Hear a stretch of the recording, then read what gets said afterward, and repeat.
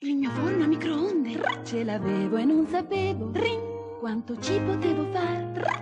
Mi mancava qualche idea. Ring. E i segreti da imparare. Finalmente un ricettario Ring. che lo rende straordinario. Da oggi c'è Cucina a microonde. Mille ricette, consigli e segreti per scoprire il piacere di una cucina rapida e dai sapori naturali. Cucina a microonde, già in edicola i primi due fascicoli. E in più partecipi al grande concorso Philips. È una creazione idea donna.